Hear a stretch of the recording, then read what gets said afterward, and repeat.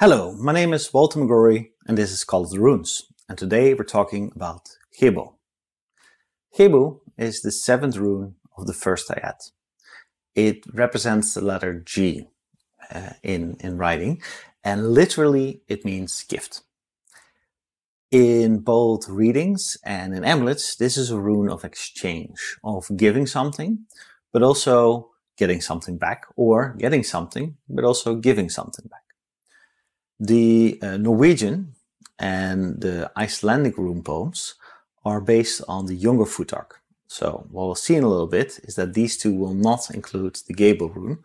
Um, but with that being said, let us begin.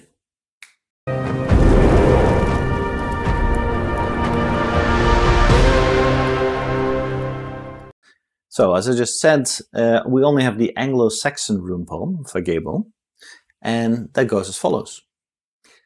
Generosity brings credit and honor, which support one's dignity.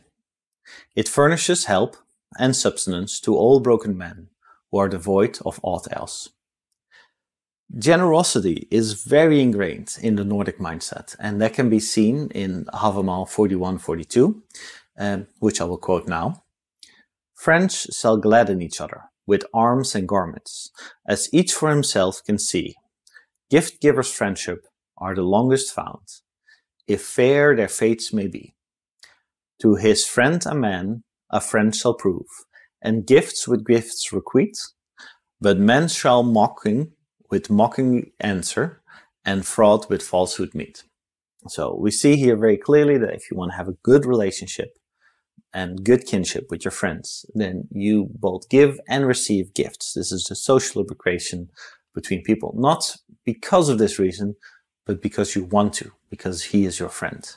On the other hand, if you give mocking to somebody, then that is also the gift that you will return, or the other way around. If somebody mocks you, you will mock them. Fraud with falsehood meet.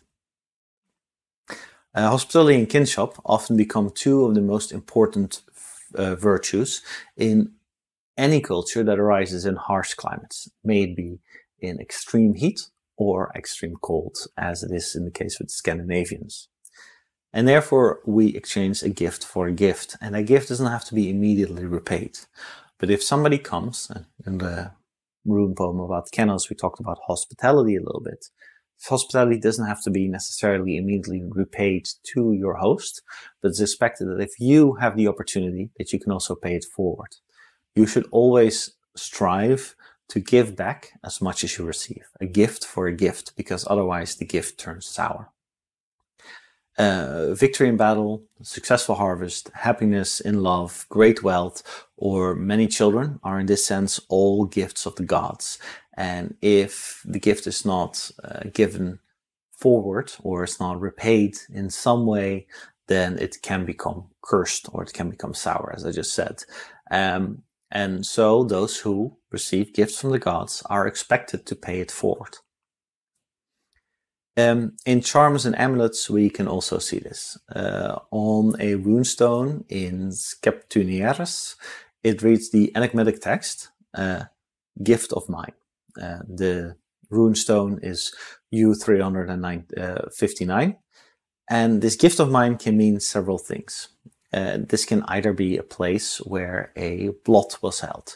Blot means to bleed, literally, or a, a blood. Um, but it is a place where people give their offerings. So a blot is a offering to a god, can be to a god, can also be to a land spirit, can also be potentially to a giant. There is some some historical precedence for that as well.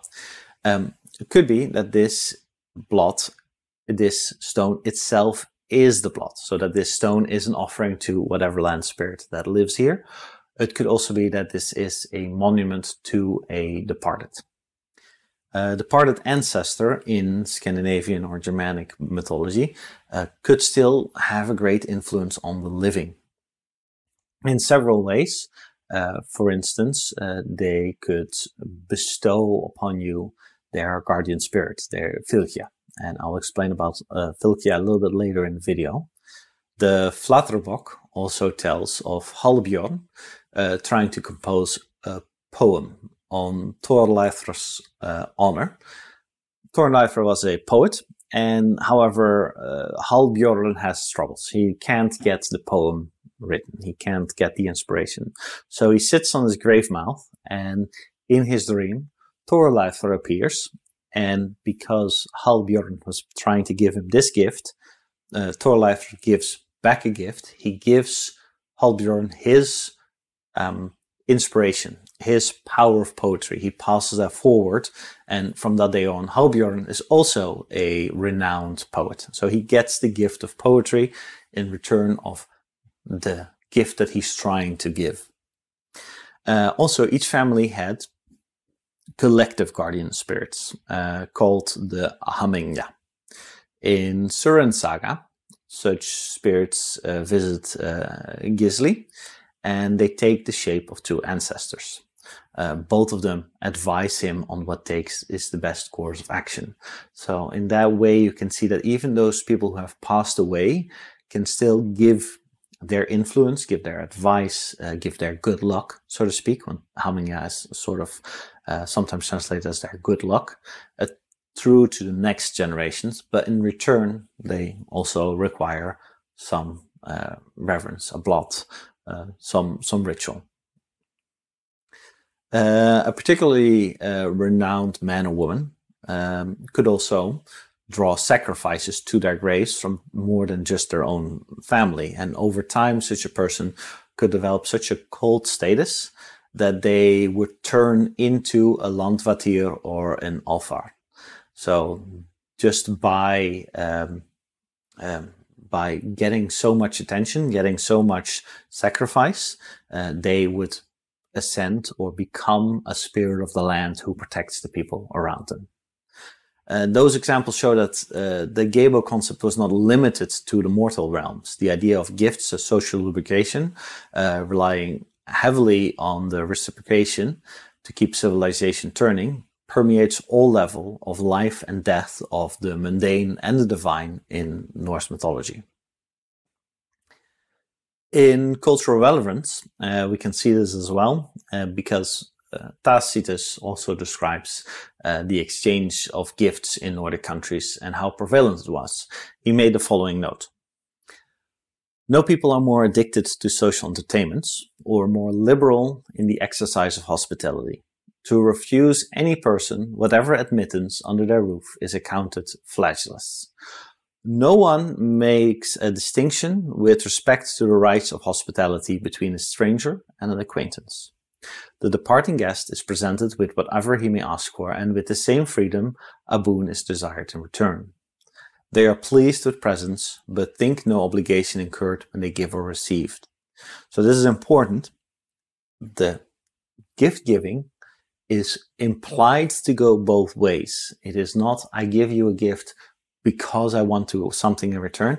I give you a gift out of my free will and you give me a gift out of your free will. It is not a obligation on itself, but it's the innate desire to give back to what you are given is what is said at least by uh, Tacitus in his Germania 21.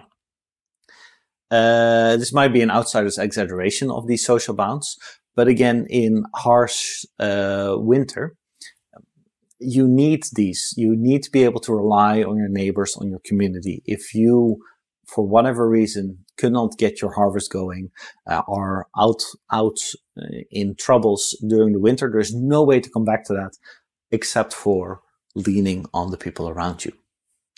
It is uh, no coincidence then that the Old Norse word for gebo, gift, can have three meanings.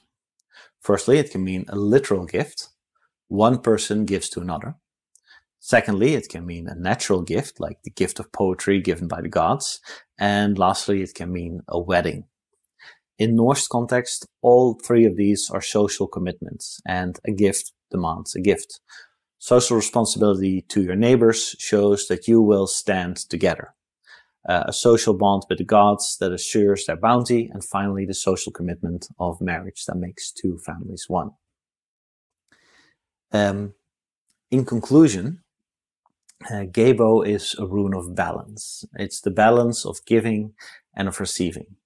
Uh, in doing so, kinship grows, and in the community and in the relationships between humans and spirits. The exact shape of Gebo, which is the X, is, uh, is symmetry, and that echoes this balance. What this balance exactly means or what this gift is in a reading or an amulet depends on what runes are next to it. So, for example, if you would combine Gebo with Tiwaz, the Justice rune, it can mean that a legal dispute is balanced. When it is paired with Berkana, the Birch rune, it can indicate that either a child is on its way or the bond that you have with a parent. When combined with Fehu, the Cattle rune, this rune might mark a financial gift coming your way or a financial responsibility that you still have to give. Uh, that is the complete chapter on Gebo. If you like this video, please like, uh, subscribe and share. If you would like to learn more uh, or if you'd like to support this channel, uh, everything that I said plus a whole bunch more can be found in Call of the Runes, uh, the book, and I hope to see you again. Until next time, goodbye.